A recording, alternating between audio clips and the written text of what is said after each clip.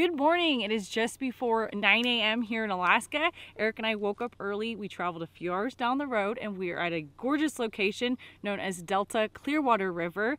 And I'm not sure if that's why it's named that, but it has the most beautiful transparent clear waters and it is also known for its arctic grayling and that is what we're going to be targeting today commonly referred to as grayling. They're found throughout much of alaska. They prefer cooler waters though just like this one. They are related to salmon. We targeted them once before on the denali highway. That was a few years back and they are incredibly gorgeous and they're really, really fun to fish for. So I hope that we can catch one today and show you. It's gonna be in the 80s and it is a little bit smoky out, but that's not gonna be a problem. We're gonna get in the boat and head either up or down river.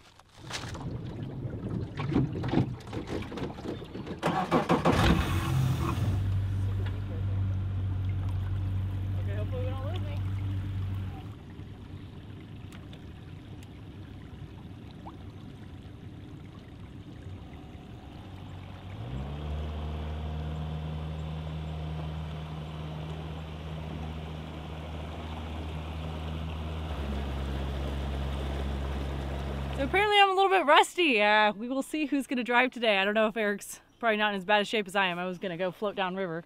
Um, but we're on a nice little spot. And I think we're going to try going upriver first. The water is cold. Just so you know. we're heading out. Heading out yonder.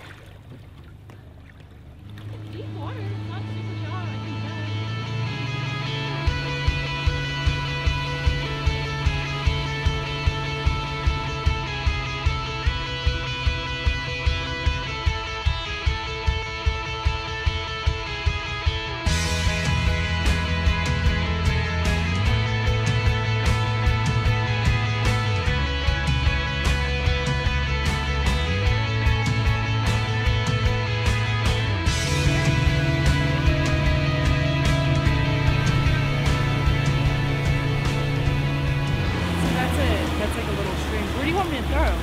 Here, and then I need to grab the anchor if you want to grab this. I saw it too. No, there was about 10 of them. Well, I just saw one. Oh gosh. It's a fun river, but I wish I knew it a little better because it's really hard to read it. All right, guys, we were coming up river, and Arielle saw a splash, and this water is so clear. I looked over the edge. I kid you not, I saw about 10 grayling, like this big. And this creek is known for like huge grayling. It's all catch and release, except if you catch one under 12 inches. Uh, then you can keep one each. So I don't know if it's going to be hard to catch one under 12 inches because those ones I saw were absolutely huge. Let me show you something I picked up for 20 bucks. Well, I am not a fly fisherman. I've never fly fished. I barely handled one, and I put this thing together. Like I said, I got it for 20 bucks at the uh, local sporting goods store. I put some line on it. We had some flies that one of our viewers sent us, and we finally get to use them now. This is the one I'm going to be using. And I think that maybe this one might be on a little bit of the big side, but I don't know. Let's give it a go and we'll see if we can catch them on the fly. If not, we brought our regular poles and we'll throw some lures out there. This creek is all single hooks, so we got single hooks on. I can't cast that far. I'm not skilled enough. You could put shorts on and sandals on.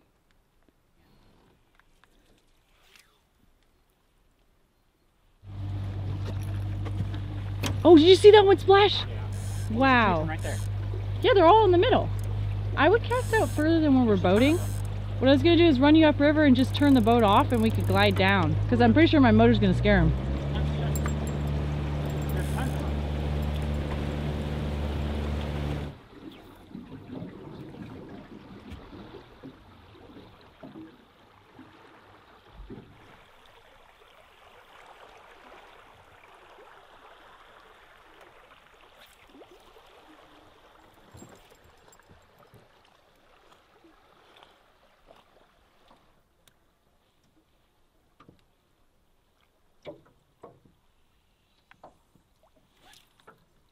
Well, I gave fly fishing about 10 casts. I think what's happening is I'm not very good and uh, we're kind of going fast down this rapid.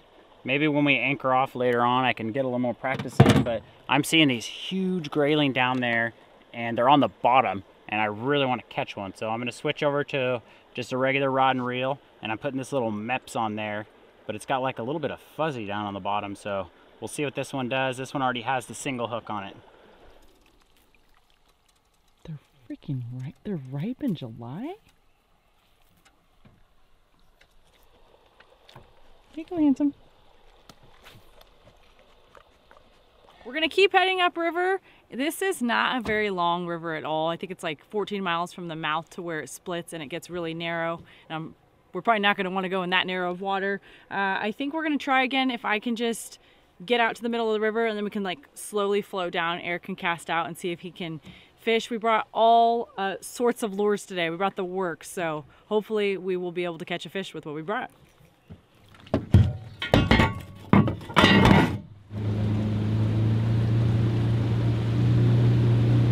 Oh, I just saw a huge one jump.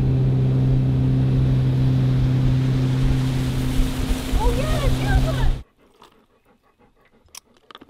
I think like this one right here. Maybe that one. Do we have any little tw- tails? The yellows? This one. I don't care. Oh yeah.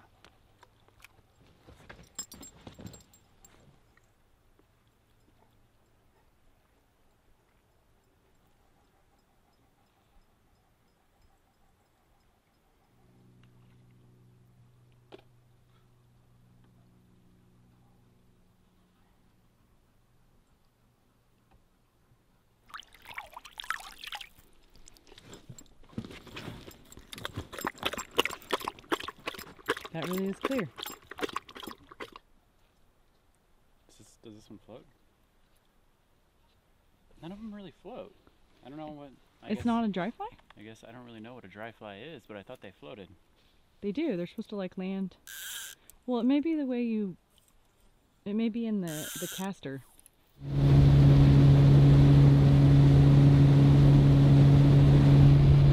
It's okay. It's too hard to tell. You don't know the river.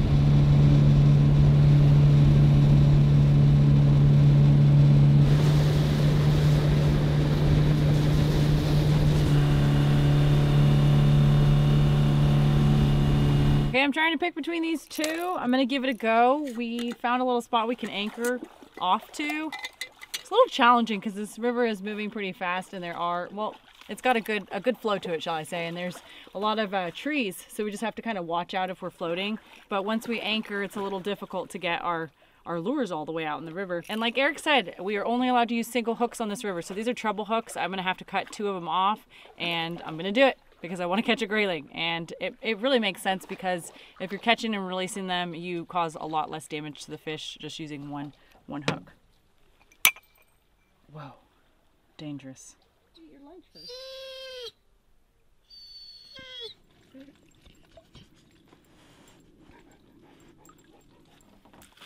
It's like, oh my gosh, my foot went down like a freaking six inches. Oh my gosh, it's like sinking and it's really cold. Okay.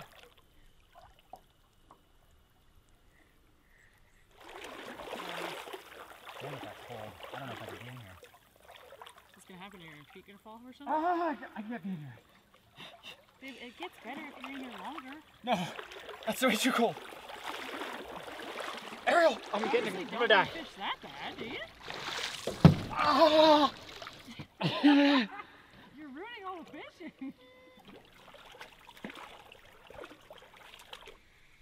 No, I didn't see that one, but I did see a really big one. He's coming down.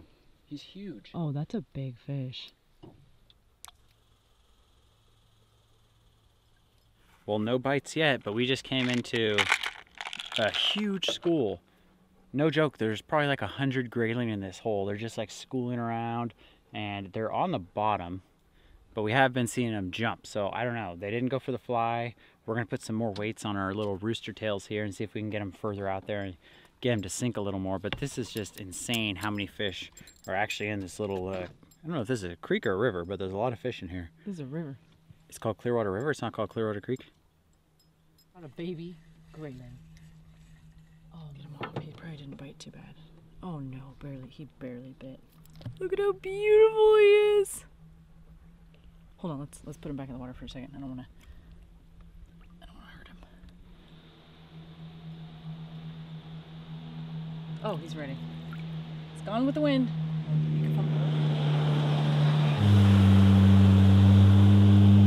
That was amazing. That was a real small uh, grayling.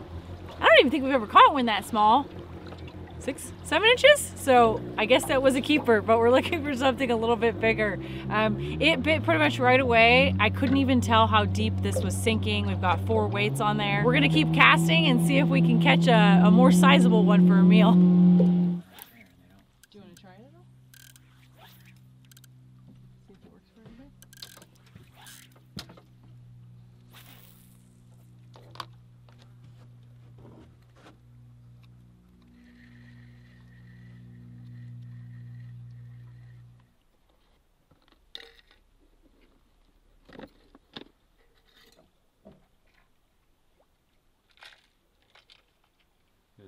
He was chasing it. I watched him.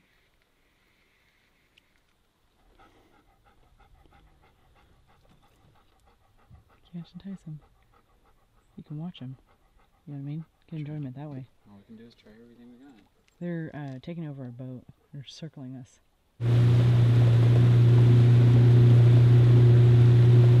Shallow. Oh, God, geez. That was a lot of fish. A lot of them. Hundreds.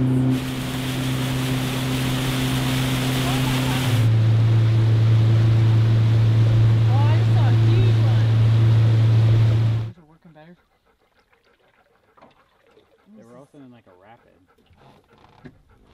They were. They were in a rapid. You're correct. The ones in the deep pool weren't biting as well. In the summer, you're right. The big ones in the deep pool were not biting as well. So Eric and I are seeing probably hundreds, maybe even thousands of grayling fish, and we're just not able to entice them.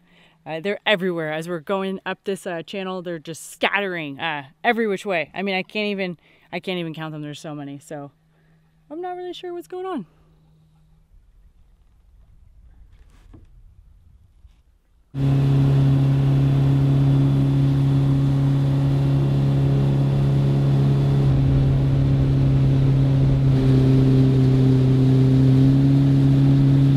Is colder up here.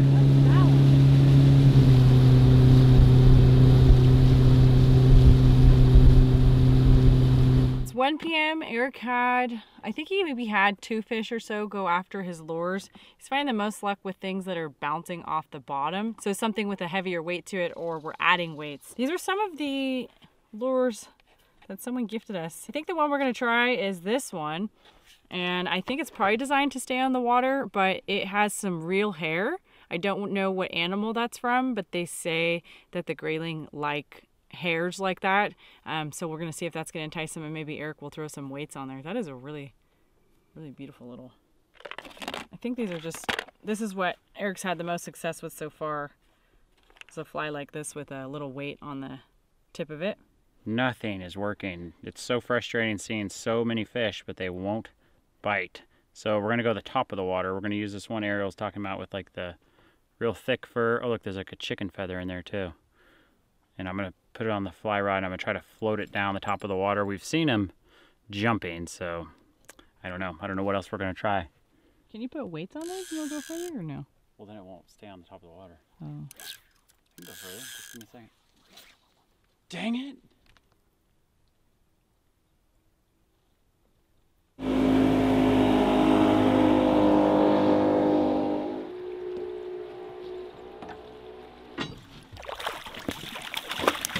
Oh my gosh! That is a monster. I wish we weren't actively moving. Do you think I could anchor or something? That thing is huge. Oh my gosh, that's huge. That is huge Arctic grayling. Look at the fins down there.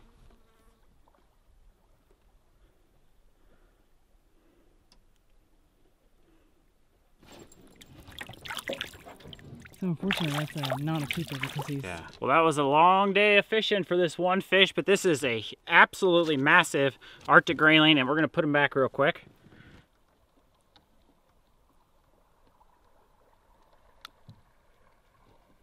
Unfortunately, that guy was way over 12 inches, so I didn't measure him, but that had to have been 16, I would say, 14 to 16.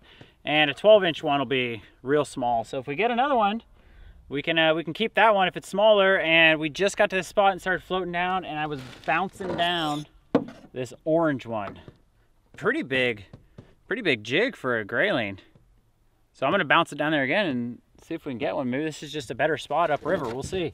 This is a, that one might be under 12 inches. Yeah, that's a small one. Here, here let's. Oh yeah, that's definitely a. Keeper. That's the perfect size. That's more productive. Uh, Upriver more? I don't know what the problem is, It's a little colder up here. Oh my gosh, look at that. Unfortunately this one's like 14 inches. So that other one must Dang have been 16 inches. That other one must have been huge. This one is four, this one's the completely different colors. Look, he's sticking his fin up. Oh my gosh. Beauty. This one's completely different colors. Let's get them back in. We're getting some action up here. So it's gotta be smaller. It's gotta be smaller than that. That was like almost 14 inches. Well, Oh, there it goes. Oh, hopefully his little cousin There it goes. by. Fishing's on now. All I was doing was doing the same thing I was doing earlier. I was getting in that shallow section over there and I was just bouncing them. They like it. Unfortunately, we're kind of far, but let's see if I can get another one. I can always move us over. All right, that, that was pretty productive. We're gonna try the same thing. We're gonna go upriver again and just float down and bob this little jig, see if we get some more action. We need to find one for dinner, huh? Oh yeah, I just saw one. Oh, you see that one jump? Yeah, I saw it. Maybe it's cooler up here. They like that. I think we go further up.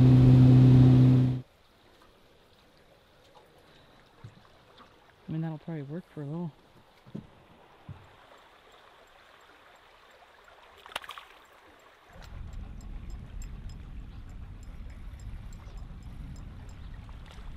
Wow. I gotta get my feet out of there. It's too cold for you? Yeah, it's way too cold.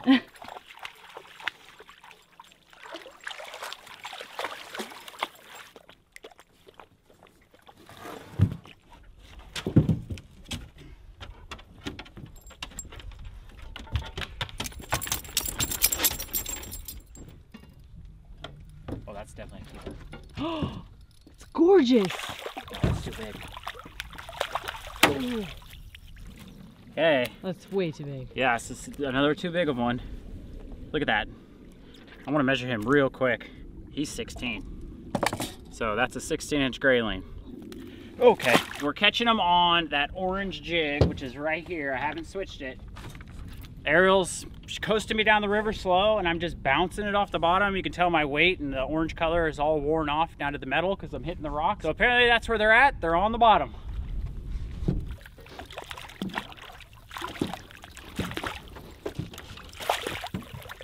Very next cast. They're huge. Look at that. Look at his blue. He's teal. You see how teal he is? Find it pretty aggressively? Yeah, you'll know. Feels like a snag almost. You know what? I thought I just. Yeah, it's a fish. Well, set it. I didn't set it. He was tugging. He was tugging. He was like tug, tug, tug. You could be bouncing on rocks. No, that was an actual fish. I felt it. Wasn't a fake one. Because we're, seeing them jump, like a lot of them. This is a bad spot there, hon. Okay, are we okay in this spot? The orange lure is the one of the day. I'm like super stressed out on this river because there's just all these logs and it's really difficult to kind of make movements suddenly when you need to. Um, so Eric's mainly been fishing, but he's like, cast out, cast out. I didn't want to. And it was the first cast. This one hit hard. Like, there's no mistake. There's no mistake that that uh, is a fish. Freaking huge! Ah! Look at that fin! He's flipping you the fin.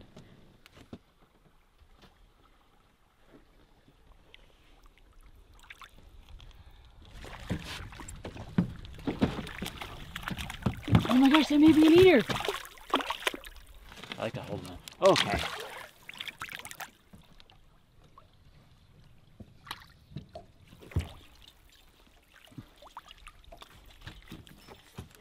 That's another beautiful one. Yeah, this one's at least 14 inches. Look at that. Look at the sparkles. That one's at least 14, maybe 15. Ready to see her go? Dang. See, that's a small one. Those ones we're seeing are huge. No, there's a snag is what it is. That's a strong one. Okay, I'm not gonna be a creep, but that's really beautiful fish, Eric. Oh my gosh. That is the most beautiful one of the day. Oh, that is a beast. That's the biggest one of all day. Look at its fin. Yeah, Hold its fin. his fin is huge. Look at his bottom fins. That's at least 20 inches. I'm not gonna measure him, let's get him in. Oh, He was a fighter. I caught him from so far away. That was insane. Well, as the day has gotten later, well, it's not that late. It's 3.30 in the afternoon. It seems like fishing has picked up. Um, it might be even like a little cooler out right now. It feels pretty nice. I mean, the fishing is just totally heated up. I wish we were using this little, uh, oh, that one almost went for it. I wish we were using this orange jig at the beginning because this thing is where it's at. Just a simple little jig.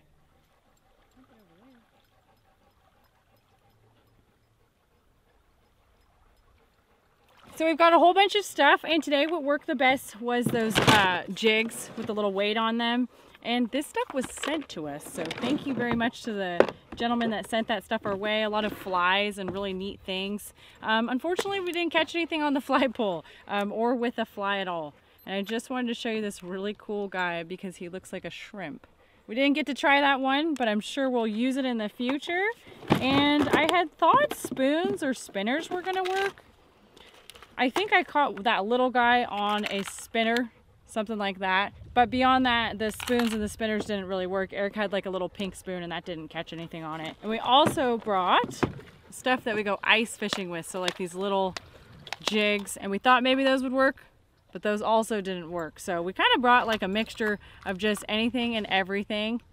And I feel like the best tactic really was just floating down. It was a little bit tricky, but once we got the hang of it, uh, it worked out a little bit better. So this is the first time we've taken the boat out since last year. I was a little bit uh, cautious this time, but now that we're back in the routine of it, I think everything's going good. We're gonna keep plugging down river and maybe we'll catch another fish.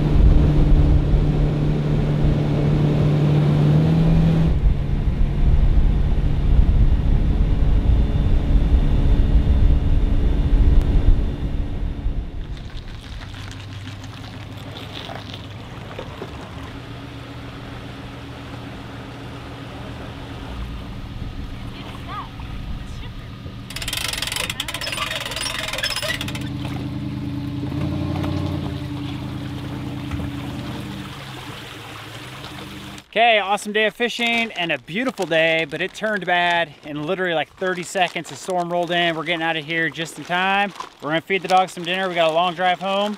We'll see you guys on the next adventure.